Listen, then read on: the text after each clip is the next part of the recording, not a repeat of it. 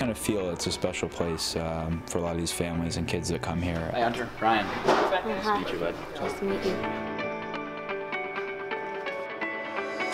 The generosity is pretty special, and then all the rooms where families stay, and uh, most of them are donated by uh, by people and families who, you know, don't know the people here, but they're uh, just giving out of the bottom of their heart. You can tell, you know, walking through here, there's some, uh, you know, people going through tough times, and I'm sure a lot of that really helps. I got a little bear for you.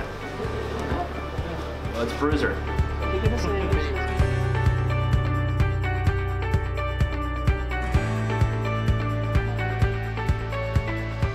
The outside is very deceptive. The inside, they said there's like 30 rooms, lots of living rooms, lots of great areas for families to get together and, and try to be a family in, in not so great times. So I'm, I'm blown away at what Ronald McDonald offers the community.